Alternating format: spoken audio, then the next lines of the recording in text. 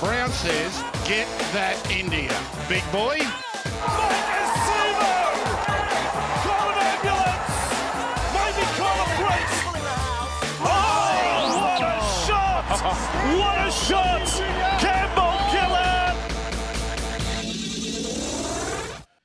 Hello and welcome back to a well, somewhat special edition for an instant reaction for the tip sheet. As always, I'm your host John, also known as Forty20, joining me uh, on a set as we have a end of season catch up for round 27, where the Eels have prevailed 60 points over the West Tigers 26 as my good mate 60s. But we're also joined by some special guests today, including Greg and Rob. We'll have them both on shortly to share their thoughts. But as always, first we check in with the big fella himself, 60s. Uh, fair, fair to say that our hearts were in our mouths at one point when the Eels took that very same margin of lead over the West Tigers with uh, not too dissimilar amount of minutes left to play, 32 points. But they shut the door in emphatic fashion today. I don't know what you're talking about. I boldly called the match with two minutes to go. I said, We've got it. And I, I think I was the only one here in this group that was prepared to call it with, with 120 seconds left on the clock. Uh, please, some kudos. Yes. It, look, I got to give the man his credit. He made the bold call. 120 seconds left. He shut the market on it and said, you know what? The Tigers are cooked. Third straight spoon. Lock it in. Absolutely, absolutely. Now, normally at this time, John, I'd be s- sending a shout out to our sponsors, Star Partners Real Estate, Auburn, Narellan, and Parramatta. But you know what? Right now, I'm going to throw to the man himself, Greg Okladnikov from Star Partners Real Estate. We've got him here. We're going to get your takes now on this uh, match, Greg. It's, I mean, obviously you were very relaxed all the way through the game. There- were no dramas, um, mate. What's you? You were saying you you can't believe that we we were even in contention for the spoon. Thanks. It's, it's a massive honour to be on the uh, on the podcast. Very humbling to be here with two great Parramatta fans, but really enjoyable watching the game today. I think the thing about watching Parramatta today and the way we demolished the Tigers was the fact that Melbourne or Penrith would have done the same thing on them, and it just shows the talent that we have in the squad if we just stop the self sabotaging mistakes in attack and defence. And I had a quick chat to. 40 just with five minutes to go when we were safe. You called it with two to go. We thought we were safe at five to go. In that, um, how many mistakes we make today? We, we made one error in attack from in the first five minutes. We made a couple of defensive errors. We got beaten by a few great passes by Galvin. But really, we chased hard, we played hard, didn't give away too many stupid penalties, and we didn't self sabotage. Went a long way, didn't it, towards victory today? And it's been the unfortunately the tail of the tape throughout long stretches of this season. As you said, Greg, self sabotage, self inflicted wounds, minimise them today, and we put the Tigers to the sword as a result. Well, look at you look at the season this year. I mean, the Dolphins and the Knights are playing for eighth spot, and we're playing to avoid the spoon. And I think we the talent that we've got. You know, I think sixty said in at the start of the game that this year we've probably lost six or seven games. Well, we've lost them. Mm-hmm. We led them, we've lost them. I'll say the hashtag again, end Darwin. but take out those five, six losses where we've thrown the games away. We're on thirty points, and we're playing in the eight. So I think Eels fans you know, Eels fans in general and Eels fans of the throw can look forward to 2025 with, I think, some optimism. Yeah, I I like that. I like the idea of a optimistic end to the season. Jason Ryles coming into his own, taking control of the team, and seeing what lies ahead on that horizon. Because, like you said, there is talent in this team, and this is a team playing without Mitchell Moses, Junior Paulo, uh, J'maine Hopgood. The list goes on and on. Like they are missing a, a ton of stars, and they're still putting up scores like they did against both the Tigers, the Dragons, and slugging it out with Penrith and Melbourne in recent weeks. So, yeah, they've they've got some grit, they've got some gumption. Let's uh, see them go a bit better next year. I think definite. I think I think there's a lot of opportunity next year. A little bit of polish, a bit, a few less injuries, and we just cut out the mistakes. And just the way we put St George, who I think are you know average, the Tigers are below average, and we did a Melbourne on them. And I think Yeah. that that shows. And again, with the players that you mentioned who are missing, and then we lost Dylan with you know, 30 minutes to go, and lost Will. So we had Bryce in the centres and Shaun Lane defending somewhere, um, and we did a great job.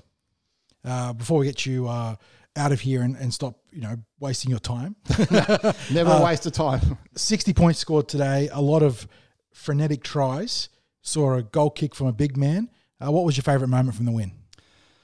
Oh, I, I think there was probably no one standout moment, but I just think that as a team, just the whole overall game that we played, the way we played, and we really just played with enthusiasm. And with, I think with about 25 to go, it was 26 16 or 22 to yeah, 12. you, you said that to me. You turned and said, the yeah. game was in the balance. We could have, you know, lost it at that point, but we just put them to the sword, and that was probably the best part that we didn't do what we did last week with 10 to go and yeah, turn it up. Yeah, complete 180 there. It's uh, 100%. I think probably the first time this year that we've really sealed a deal in those last 10, 15 minutes. And it's a good way to end the season, I'll tell you that, rather than seeing the opposition score five, six tries on the run. So, yeah, nice way to wrap it up. And I'll wrap it up with we'll be back to support the throw again next year. Thanks, Thank you, gentlemen. Greg. do a great Love job, mate. and the whole team. Love you, mate. Well, thanks, Greg. I mean, that, what what more can you ask for for a sponsor who's been with us now? I, I reckon it's it must be uh, from the tw- start of the 2017 season. Greg, would that would be about right? That you like that when we bumped into the back row of ring rows. That's, That's right. it. Yeah. Oh, Wenty Park. Yep. doing, Yep. and we need a cassette deck or something, or internet. Let's do it. Let's do it. Yep. Yeah, and, and, and much appreciated, Greg. And um, as as we always say, we couldn't ask for better sponsors than Star Partners Real Estate. Uh, you've heard the passion there from Greg, uh, not just a supporter of the Cumberland Throw, but uh, a really passionate Parramatta Real supporter. Yep. And um, you know, when you when you've got uh, ourselves as Eel supporters, and we've got the backing of Greg as a as a really passionate Eel supporter, you know, we couldn't be happier. So thank you, Greg. See next year, boys. Yeah, Yes. thanks, Greg. See you next year, indeed. and and a little bit of an insight too for uh, for people about the um, and, and a bit of praise actually that I'm going to give to Trent Barrett and the coaching staff for what we've seen over the last few months from the Eels. I, I said that I wouldn't go into any details about training while the season was still running and just a, about a few things that uh, a few adjustments that they made really as we got into the last I guess, at least six weeks of the season, John, and it's uh, the it, it was almost like full circle that the that the team has come. Many years ago, we back well back in 2017, you and I were privileged to be able to sit down with the assistant coaches, uh, Joey Grima, uh, Steve Murphy, Peter Gentle. uh, Pete Gentle, and we were talking about what it was like for them when they first arrived at the Eels in 2014, and uh, you know the team that was inherited by that coach by you know, Brad Arthur and that coaching group had won back to back wooden spoons. And one of the things that I'd noted at training was the amount of games that they played at training. A whole variety of games, but there was always games. And when we spoke to the coaches, they said one of the most important things was to get the players enthused about coming to training. And uh, you know, basically turning up with a smile on their faces for what was, you know, for them in the previous seasons, I, I would imagine a real grind. Tough sell. Yeah. You know, a, a really, as you say, a really tough sell. So lots of games were played, and it was, as I said, it was quite a variety of games that were there. Fast forward to about six weeks, six eight weeks ago, I started to see the same thing happening at training at Eels training at Kellyville. A lot more games that were being played, and when I say games, I'm talking about things like uh, Fijian touch, um, various varieties of soccer, like a four-way soccer game, um, Gaelic football. It, it, it's you know just this variety of games that were being played, um, not taking the place of training, but being a part of training. And often it, they they'd hit the warm up, then from the warm up it'd be games, and and would be games for you know however long they uh, felt they needed to let their hair down, enjoy themselves. You'd see lots of laughs. Um, there's always competitiveness with professional rugby league players, no matter what I, they're doing. I So, can think of a few players that would stand out for you know going hard for the win regardless. oh yeah, yeah. So there was lots of celebrating with it, you know, goals or tries being scored depending on on what the game was.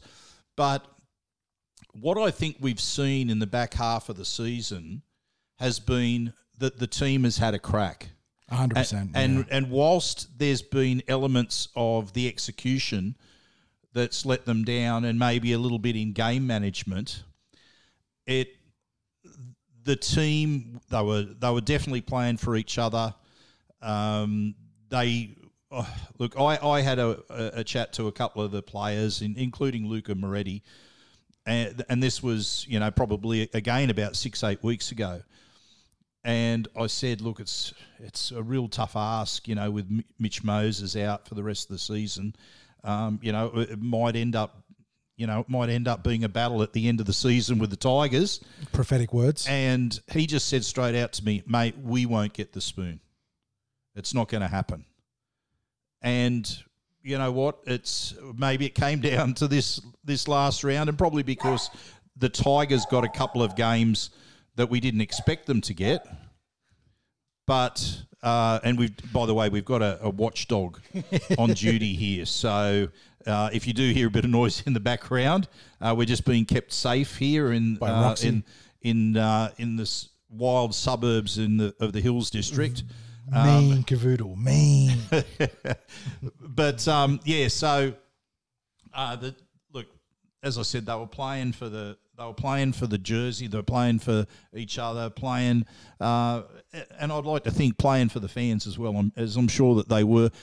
Uh, pride obviously came into it, John. Without a doubt, yeah. but they were kept fresh. They were kept fresh in the mind. So the last part of the season wasn't a grind for them, and I think we saw that. Now, let me also make it clear: there was still training that was happening. yeah, I mean, you, know, don't go out and compete the way they've competed without actually applying yourself. So Yeah, and- that's clear. and other aspects of the of the game plan for this week that I was able to see in action. You know, they, they had particular target. Spotting up certain you know, players. Mm-hmm. spotting certain players, and you would have seen that with some of the tries that were scored, Mm-hmm. who they were running through, and uh, and that was uh, the talk as they were going through their paces at training this week. You could hear the names being called that they were spotting. So, mate, that, as I said, look, I don't think I in in the back half of the season I could have asked for more in in terms of uh, how the how the team was prepared because I think it's a tough road to hoe when it might be perceived there's not too much to play for. Finals ostensibly out of reach, um, but how do we keep the boys fresh in the mind? And and that was basically a big part of it. Yeah, no, like you said, I think massive credit goes to Trent Barrett and the rest of the coaching staff and training staff because it's not an easy gig. Uh, the way things played out this year, the mid-season turmoil, the struggles on and off the field with injuries, bad luck, uh, you know, people being moved on, could have easily come to a complete collapse, and instead they rallied. So uh, today, uh, you, don't, you don't want to say it's the culmination of all that, but there was a lot of hard work that went in there from both the playing group and all their support and auxiliary staff. And I don't think you you post 60 points today uh, without having a real crack, not just in the short term, but across that entire stretch. So, really well done to Trent Barrett and company there. Let's start with this game now, mate. Break it down, talk about where we uh, got it right, and a couple of hiccups along the way. Uh, but the Eels 60 over the West Tigers, 26 out at Campbelltown Stadium. That win not only lifts the Eels to not the wooden spoon or the Mariana Trench Trophy as we've adopted this week, but it gives them a, a fair chance of coming third last for what it's worth to the ladder watchers out there as we play. Sorry, as we record right now, Roosters up six 0 17 minutes played. Uh, Roosters win by any margin gives the Eels third or third last, not third place. It'd be nice if it gave us third place. uh, but uh, let's look at the team stats here, mate. Uh, Eleven tries to five. Obviously, a lot of points scored here. The clock- Twenty tries in the last two weeks, John. yeah, well, the clock's been thrashed two weeks in a row. Uh, 84 and 86 points scored uh, in the last two weeks. Uh, for the Eels, well, it's an extensive list, but we've got a Maika Sivo double, Daejarn Asi, Brendan Hands, Will Penisini double, Bryce Cartwright, Quentin Gutherson double, which also netted him his 100th career try in the NRL. So well done to the captain there. Tremendous way to close out the season, along with fittingly the big man Reagan Campbell Gillard getting over, and then Joey Lussick closing out the scoring in the 73rd minute with Reg potting a conversion for that try. Daejarn Asi kicking was it one, two, three, four, five, six, six, and Quinton Gutherson kicked the goal too. I was I missed that one, but uh, so we got three different converters here, Uh, the key stats: Eels ahead in possession, fifty-four percent in their favour. Time of possession plus four minutes. Nice effective completion rate, mate. Seventy-six percent, thirty-three of forty-three. Speaks to what Greg was talking about, uh, where we mitigated or limited the self-sabotage this week, and lo and behold, get a big win. Uh, Eels ahead in every key attacking stat except tackle breaks. More runs, more run meters, more post-contact meters. Nine line breaks to five better average set distance by over plus 10 meters a set. So that's how dominant they were on the ground. Uh, the Tigers, though, half a second faster on the play of the ball speed. That's the para classic, isn't it, mate? Dominate all the key attacking stats, give up the faster play of the ball. Eels 17 offloads to 10, so again, dominating second phase play. And then getting down to the effective tackle rate, neither team particularly good. Eels a, a tick over 80%, the Tigers a tick under 82%, so plenty of missed and ineffective tackles today, which speaks towards 86 points being scored, no surprises there. But uh, crucially, the Eels minimised their errors, only 13 conceded to the, the Tigers 17. Uh, but in saying that, the Tigers actually were ahead in discipline for penalties and six against. Four penalties conceded the Parramatta's five, and then they gave up two combined six against the Parramatta's four. So that's the uh, team stats there. There are some individual stats which uh, I don't know if you want to take me through there because a couple players cracked 200 alongside some uh, really strong efforts across the park. Uh, but throw it over to you now. Uh, Eels convincing victors, uh, the opposite of last week, which is really nice to talk about. What stood out to you on this one, mate? Well, for a start, I just wanted to throw the stat at you because we were talking through the game about where does Sivo sit with tries scored this year and I think he's come in at 17 in I 12 games. 17 and 12, yeah. And he nearly had 18, if not for an actual great Charlie Staines grass cutter. So uh, the man is, he hasn't been available for uh, large stretches this year due to injury, mostly injury. There was a suspension too, I think, but it's been a lot of injury. But to his credit, he's actually posted, uh, uh, A, a lot of tries, and B, this last run, and even the run before he got injured, the, the most recent injury, I think bookending that injury, he's played some good football you know, at the end of last season, Sivo turned in his his best game yeah, of the year in the Penrith, final yeah. match against Penrith. I, I wonder if much like seeing the try line when he's in the 20 metre zone, when he sees the season's end, winds up. He's really winding up. Yeah, looking to finish the season on a massive high. He he's done that. He's still under contract for next year. There's certainly been some talk around Sivo being moved on.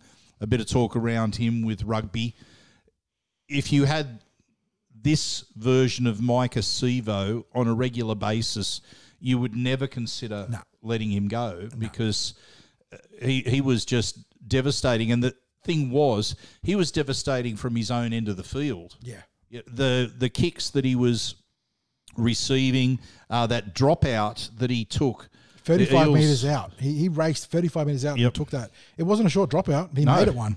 No, so he he had moments where he just looked completely unstoppable. So uh, shout out to Maika for the way he's finished the season. Of course, if he's here next year, we want that version of Maika Sivo every week. We don't want to be having a discussion about his form wavering or it, or, or his his carries in uh, you know his meter work, yard sorry his yardage work, uh, not not being what we need it to be. So, um, yeah, but what a what a game from him today.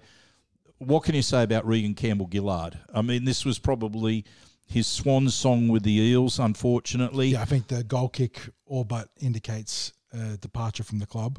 Yeah, and he's he's been the Iron Man of the season, playing in all 24 games, uh, given his all in every one of those games he's a player who's probably worth around every cent that he's paid for the Eels. Uh, people might debate, you know, that his his contract is a little bit more than what it should be, but if he's performing like this on a regular basis, which we've pretty much seen this season, there's no discussion about him him leaving. Unfortunately, as I believe, he's in the he's in the position where the the Eels can get close to maximum value for a contract offer from elsewhere if if uh, Reg accepts the move, and I think that's basically how it's playing out. He he was looking at a move at the end of next season.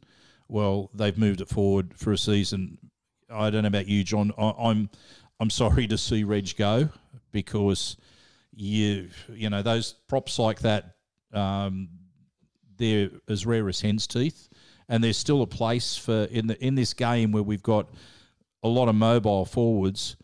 When you've got someone playing like Reg has been playing, there's still a place for them in the in the modern game. I mean, a pack's always going to have a place for a hard man that runs tough north south and sets a tone in defense. That's exactly what Reg does.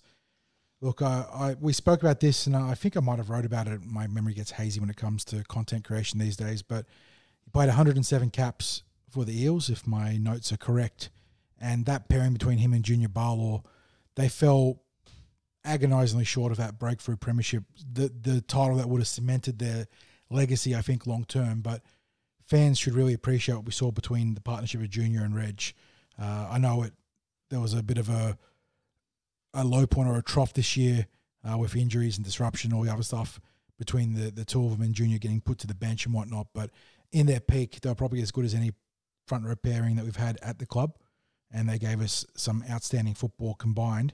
Junior obviously still with the club, but it's very much bittersweet to see Reg go. And, and the sweet part of that is by far the minimum or the smaller side of that margin. Him leaving obviously gives the club and Coach Ryles the opportunity to make signings that can, you know, better balance the squad.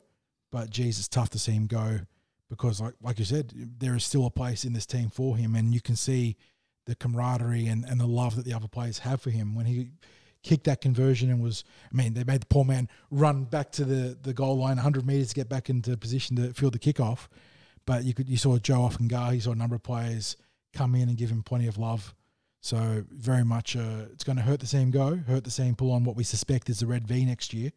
Uh, but he signed off in emphatic fashion. Great game, scored a, a, wonderful little try at the end there, got the kick a goal. So probably as poetic a finish as you can get when you're competing for the wooden spoon in the final round. John, what I am glad about is that the season's not going one game longer because I would hate to think about what the team might look like oh. next week given the injuries that struck during the game tonight. I mean, we saw it's a nervous wait for the preseason. Now, oh, yeah, absolutely. Um, let's have fingers crossed about both um, Dylan and Will. Um, I don't know how soon we're going to get word on on their respective injuries, but I mean, it, Dylan certainly didn't look good. No, out on the field, you're just having a bit of a, a check now to see if there's any word that's coming through at the moment, but.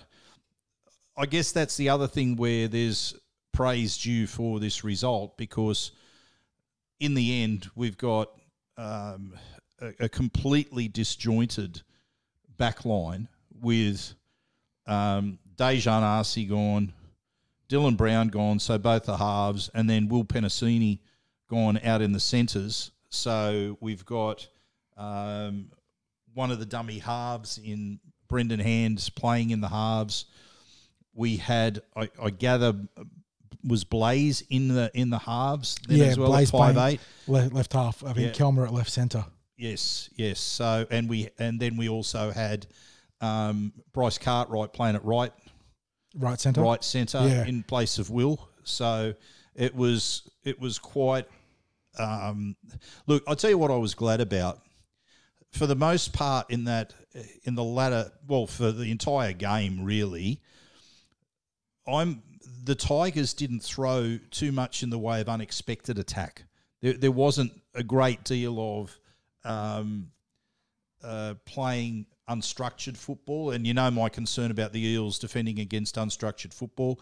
Galvin, well, he he had a few tricks up his sleeve, mm-hmm. and that was about as close as they got. He, he had that little dab in behind the line with a kick for uh, their first try. He was really exploring on the Tigers' left and although there are a few passes there that looked a bit dodgy, not necessarily from him, but there were some forward passes I thought when the Tigers were stringing down their left edge there, down, yeah. down their, their, left edge. But um, look, uh, yeah, I, I think there's quite a bit of praise that's due for the Eels in in the way that they were able to adjust with all those injuries happening in the second half goodness knows we would not have wanted to see it last week with how oh. how things went. Um, but we certainly wouldn't have wanted the season to go another week longer because you honestly don't know what they would have done in terms of uh, putting a team together next week. Um, special mention, of course, to um, players like Will Penisini, who got 207 running metres. Uh, Blaize was up at 146 running metres. Um, Maika was only down for 112, but it, the damage he did felt violent, like double that. Violent 112 metres. Yeah, yeah, no, absolutely violent. I mean, before he got injured, Dylan Brown was up to 101 running meters. Um, Reg 138. Um, a massive, massive 203 run meters, but get this 95 post contact meters. He's nearly run 100 meters post contact, John. I mean, that's just enormous. Um, Cardi had a really good game, uh, 124 run meters, but he just has that ability to pull something out of the out of the a trick out of the bag. You know, his the intercept and putting Will Penisini away. Uh, there was also that magical pickup that he had near the sideline as well.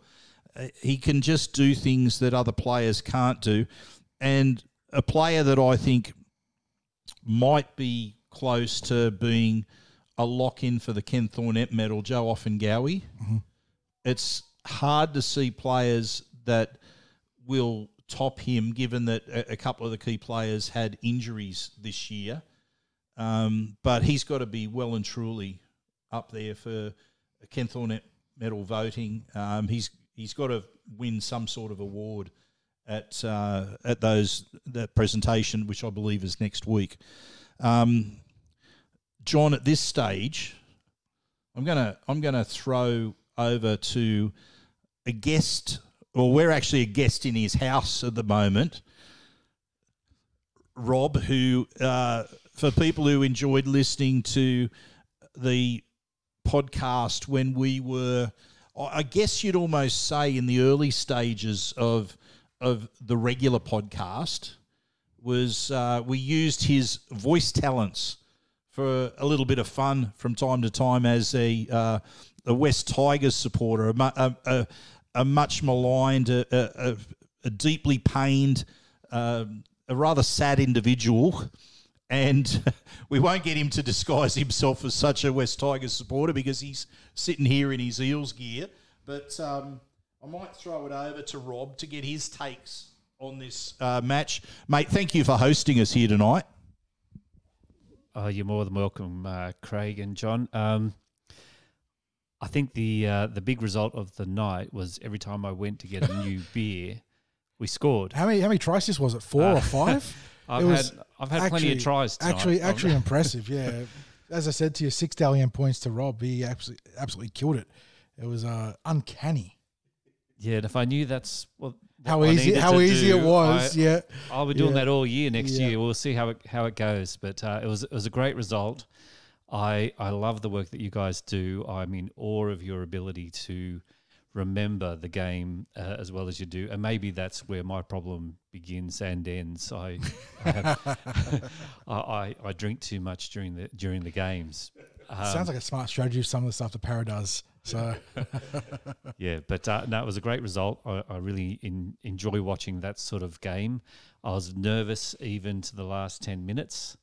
And uh, I was even nervous uh, when uh, I think it must have been Yoko called you at two minutes uh, to the end and you called it. But um, yeah, no, I, and I love having you guys over. So you're, you're more than welcome to come anytime. it was funny. We we had a bit of a roundtable just ahead of kickoff. I think it was Quint, Greg, Craig, myself, obviously yourself too, and we're talking that the build up for this game was kind of unlike anything we'd seen, and you know all the talk about spoon bowl and whatnot. But it was a sold out crowd at Campbelltown, uh, very raucous crowd. We heard a lot of Tigers chants for about sixty minutes until the Para chant took over, which was good to hear. Uh, but yeah, for for a game where the stakes were so low, you know, subterranean low as, as we've been talking about. Yeah, it was funny to see everyone get so hyped for it. It was, I mean, I know they call it the spoon bowl, but it was a very entertaining, I suppose, preamble into a very satisfying finish. I think you, you may be underselling it a bit, John, because a lot of people count how many spoons a team. Yes, has. they're, very very quick. How many seconds? very quick to bring up the cutlery debate. Exactly. You Uh, know, there's a lot to, lot at stake, and when you're, uh, it's pride really in the end. Uh, and I think even when we got ahead, and the guys just kept on pushing, you know, just kept pushing and pushing for more points. Um, that's pride, I think, and because you know how many players did we have out? And how many Um, players did we lose this game? I mean, we, we obviously got the advantage with uh, Apisai Koroisau getting correctly sent to the sin bin for the tackle on Gutherson, but the uh, the footy gods weren't kind to us today. They gave us a lot of injuries on top of all those season injuries. And the other thing that I, I was going to broach a few 60s, and we can obviously talk with Rob about it, is that the Tigers always punch up to us. They always play their best against us. They obviously circled this game. They did it earlier this year, played some great football there. Lockie Galvin had a big game in round, was it three, four, three? I think it was when uh, Moses went out uh, the week before. Um, and yeah, they they always turn up, and the Eels absorb some pressure because there was a point in this game where Galvin had sort of spearheaded a two try comeback. We gave away a penalty. They scored. We kicked out in the full. They scored again. They had momentum in the game, and then we we managed from there. It was largely taken by the throat in a stranglehold. Yeah, look the the way that the Eels sort of uh, dug in a little bit at the beginning of the beginning of the game. We've seen too many of these recent games where that's the difference. Yep. We don't come back. We we start to capitulate and we let things go. And yeah, look, it was only against the Tigers, but it, it bodes well for next year. Hopefully, these guys that have got their injuries are, are only mildly inconvenienced, and uh, they they train through the off season, and we hit things coming good next year. Yes, indeed. And I think we'll, we'll let Rob off the hook there, so he can go actually enjoy his I'll own home. back to you, Craig. Thank you, mate. Uh, great to have you on board.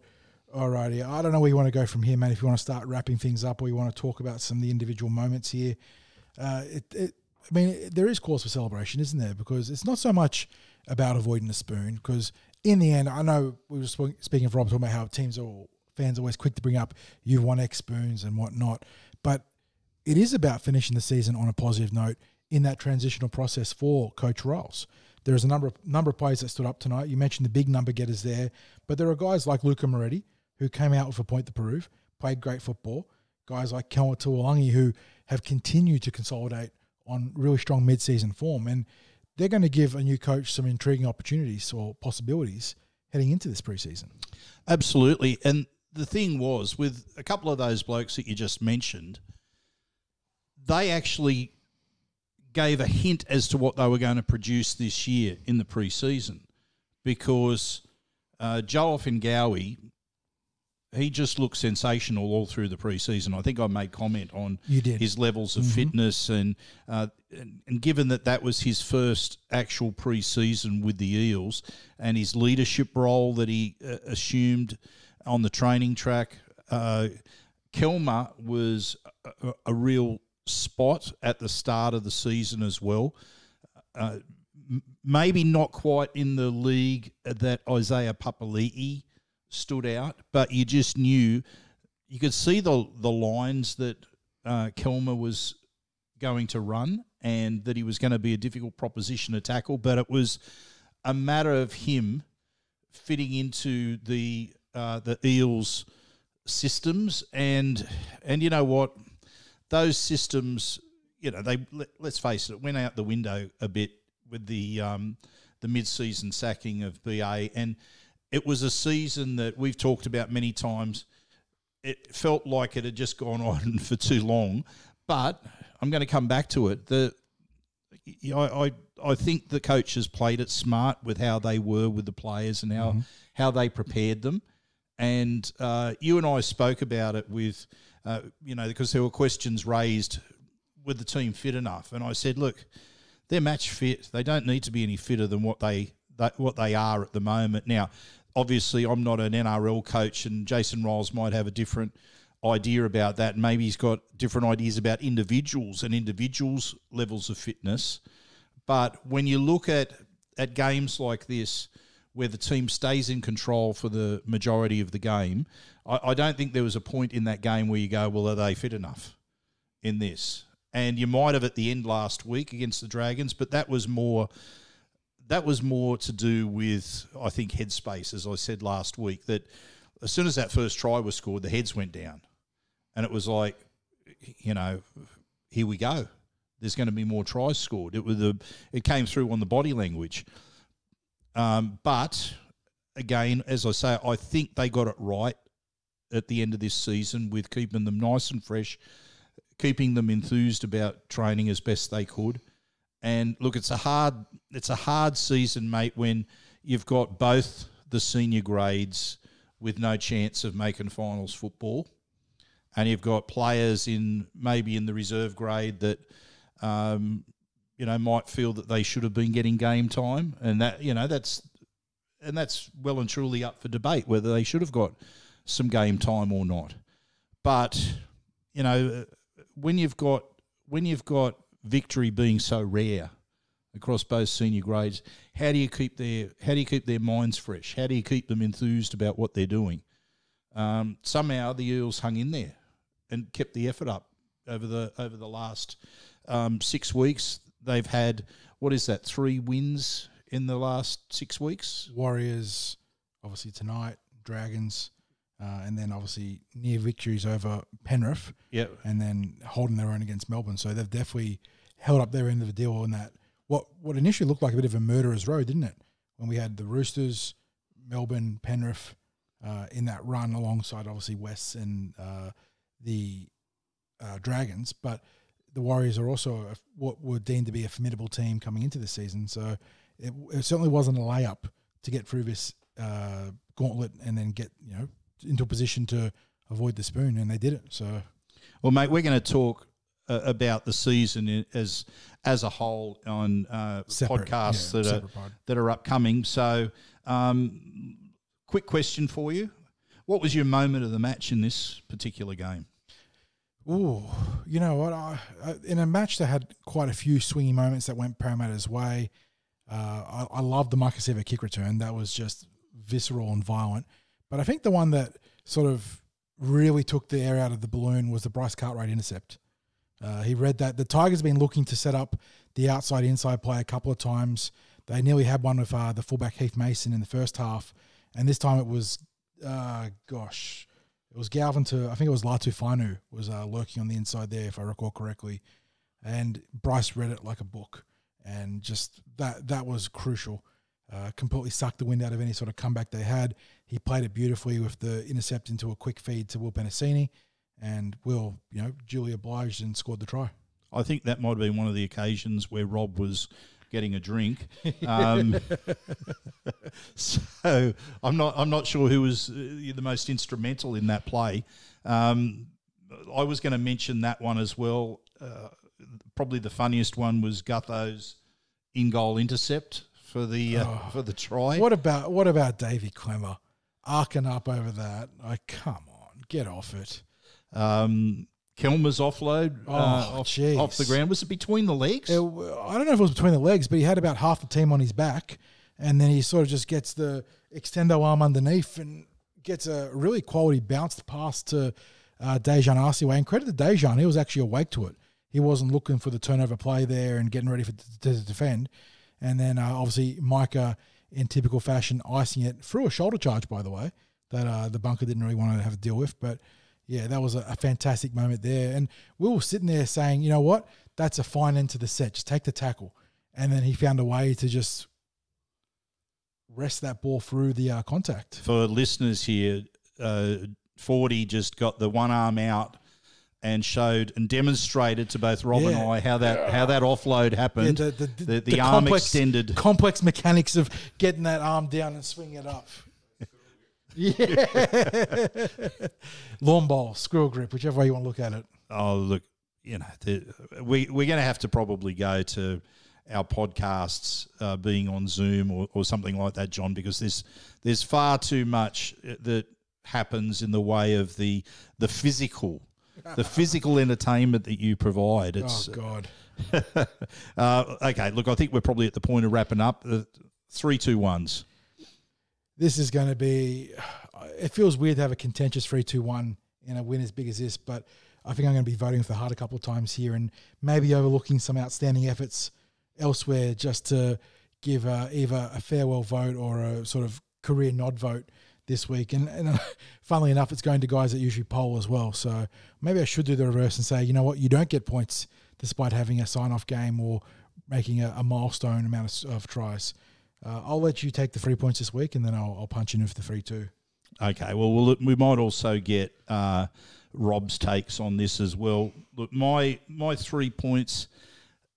It is a tough call. Um, I, I I am going to give it for slight sentimentality, but but definitely for workload. Uh, Reagan Campbell Gillard, like he's he's just been a colossus. He's been a memorable player for the Eels.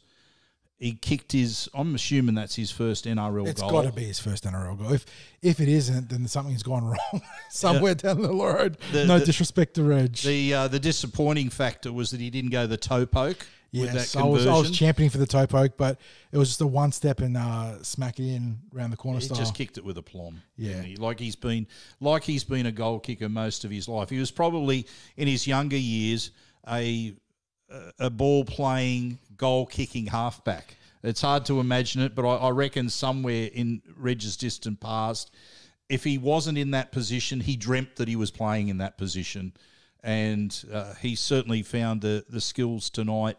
Um, but you look, besides you know the the fancy stuff, thirty five tackles, only two missed tonight as well. Uh, Rob, we'll go to you for your three points. Okay, thanks, Greg. Um, I th- I think Kelma just had a had a great game. Like just a what he does e- each week, just a powerhouse down the middle, tuck it under your wing, and then not knowing that the other opposition not knowing whether he's going to get that ball away or whether he's going to bust that tackle. Uh, he's he's my three points easy. Yeah, I'm with Rob here. I want, I refuse to let sentimentality take over my points. I, I reflected on it, and I'll, I'll give out honourable mentions, I guess. Uh, so I'll be a bit of a, a brutal cynic there. Kelma dominated tonight, uh, and as he has for almost a third of a season, when you sort of factor in that injury slash suspension, he was killing it in the midpoint of the year. Gets that uh, time off by way of either injury or suspension, regardless of how it plays out.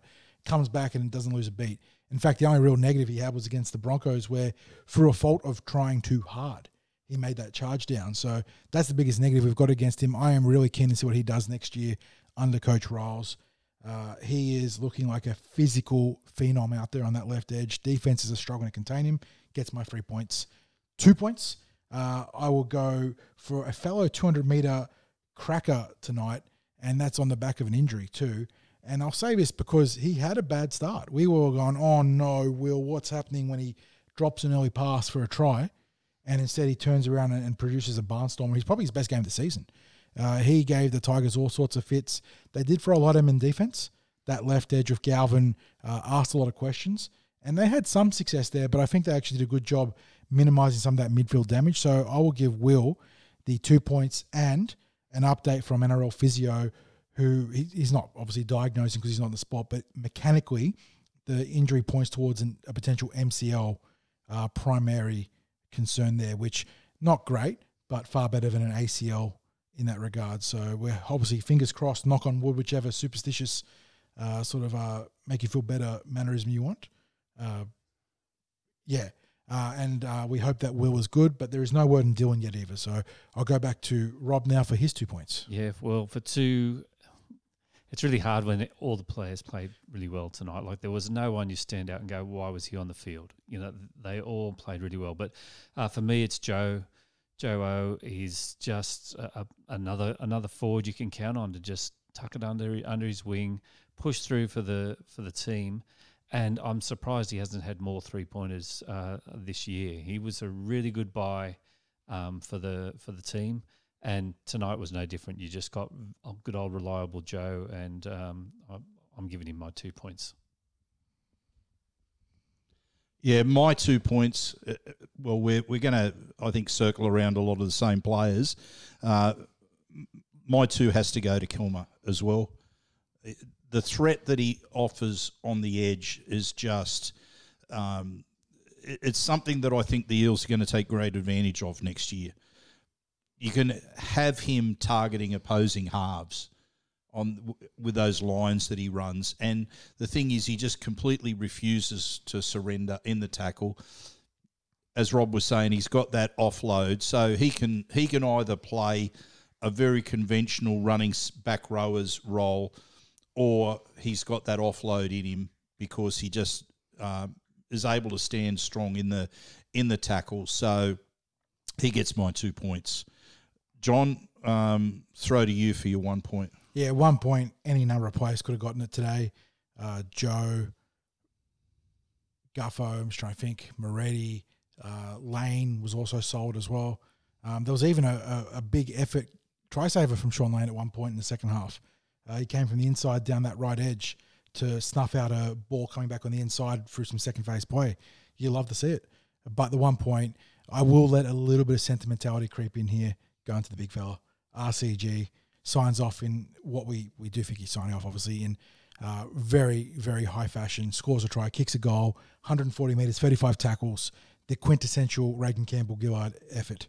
So well done to the big man. And uh, as always, if he does end up leaving the club, we wish him well, except when he plays the Parramatta Eels. Love what he brought to the blue and gold. And I will always look back on that partnership between him and Junes as one of the premier bookend pairings that we've had. Mate, I I'm going to go for another forward because I think the work that was done through the middle and on the edges really brought the win home for the Eels, and I'm going to go the one point for Joe Ofahengaue. I've already talked him up quite a bit. I think he's in contention for the Ken Thornett medal. Mr. Consistency. Oh, yeah. Oh, yeah. And yeah, for me, it's an easy lock in for the one point. So, um, yeah, big shout out tonight uh, for those three players uh, Reg, Kelma, and Joe. And finally, Rob, your one point, mate.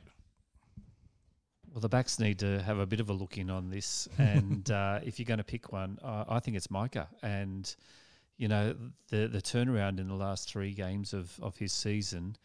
Um, I don't know if somebody's telling him that you know his contracts needs to be um, proven, yeah, but played uh, up to exactly. Yeah, yeah. yeah, and, and that's sad, and we shouldn't have team uh, players in our team if that if that is the difference.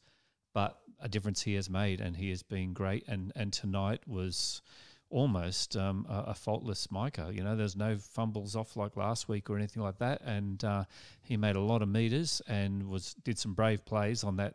You know, taking that uh, kick um, that brought it down to a 35 meter uh, kick. You know, um, he was a, a cannonball like he should be, and uh, did good things. So that's he gets my one.